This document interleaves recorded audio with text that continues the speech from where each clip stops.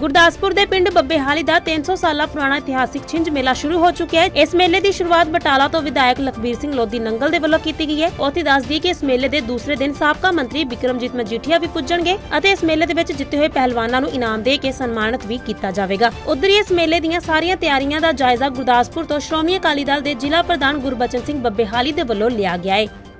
ਇਹ ਬੱਬੇ ਦਾ ਛਿੰਝ ਮੇਲਾ ਬਹੁਤ ਪੁਰਾਣਾ ਲੱਗਦਾ ਆ ਰਿਹਾ। ਜਦੋਂ ਦਾ ਕਿਤੇ ਪਿੰਡ ਬਣਿਆ ਉਤੋਂ ਹੀ ਇਹ ਸ਼ੁਰੂ ਹੋਇਆ। ਤਕਰੀਬਨ ਜੋ ਬਜ਼ੁਰਗ ਦੱਸਦੇ ਨੇ ਵੀ ਇਹ 300 ਸਾਲ ਪੁਰਾਣੀ ਛਿੰਝ ਆ। ਤੇ ਇਹ ਮੇਲੇ ਤੇ ਸ਼ੁਰੂਆਤ ਜਿਹੜੀ ਹੈ ਇਹ ਇੱਕ ਪੀਰ ਬਾਬਾ ਲੱਖ ਪਿੰਡ ਦੇ ਵਿਚਕਾਰ ਜਗ੍ਹਾ ਆ, ਉਹਨਾਂ ਨੇ ਸ਼ੁਰੂ ਕਰਾਇਆ ਹੈ ਤੇ ਹੌਲੀ ਹੌਲੀ ਛੋਟੇ ਖਾੜੇ ਤੋਂ ਵੱਡੀਆਂ ਗਰਾਊਂਡਾਂ ਵਿੱਚ ਸਮਾਂ ਬੀਤਦਾ ਗਿਆ ਤੇ ਪ੍ਰਬੰਧਕ ਚੰਗੇ ਜਿਹੜੇ ਸੀਗੇ, ਉਹਦੇ ਹੱਥੇ ਇਹ ਮੇਲੇ ਨੇ ਖੇਡ ਨੂੰ ਬੜਾ ਵੱਡਾ ਰੂਪ ਧਾਰ ਲਿਆ। ਤੇ ਸੋ ਇਸ ਕਰਕੇ ਇਹਦੇ 'ਚ ਹਰ ਸਾਲ ਹੀ 15 16 ਭਾਦੋ ਨੂੰ ਇਹ ਮੇਲਾ ਹੁੰਦਾ ਆ। 31 ਪਹਿਲੀ ਨੂੰ ਐਰਕਾਂ ਹੋ ਰਿਹਾ। ਇਹ 'ਚ ਤਕਰੀਬਨ 250 300 ਪਹਿਲਵਾਨ ਜਿਹੜਾ ਉਹ ਹਿੱਸਾ ਲਏਗਾ। ਕੁਸ਼ਤੀਆਂ ਵਾਲਾ, ਕਬੱਡੀ ਦੀਆਂ ਟੀਮਾਂ, ਵੱਡ- ਵੱਡੀਆਂ ਜਿਹੜੀਆਂ ਜ਼ਿਲ੍ਹਿਆਂ ਦੀਆਂ ਉਹ ਵੀ ਆਉਣੀਆਂ ਨੇ। ਛੋਟੀਆਂ ਕਲੱਬਾਂ ਦੇ ਮੈਚ ਵੀ ਹੁੰਦੇ ਨੇ। ਐਥਲੈਟਿਕਸ ਵਾਲੇ ਬੱਚੇ ਵੀ ਆਉਂਦੇ ਨੇ।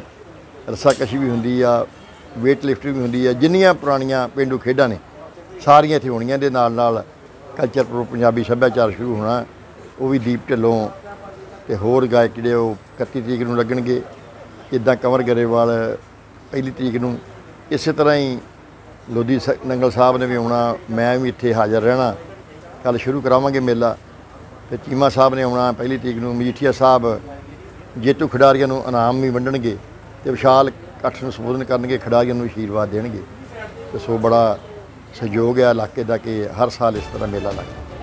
ਅਵਤਾਰ ਸਿੰਘ ਦੀ ਸਪੈਸ਼ਲ ਰਿਪੋਰਟ ਦੇ ਨਾਲ ਬਿਊਰੋ ਰਿਪੋਰਟ ਦਾ ਟੀਵੀ ਐਨਆਰਆਈ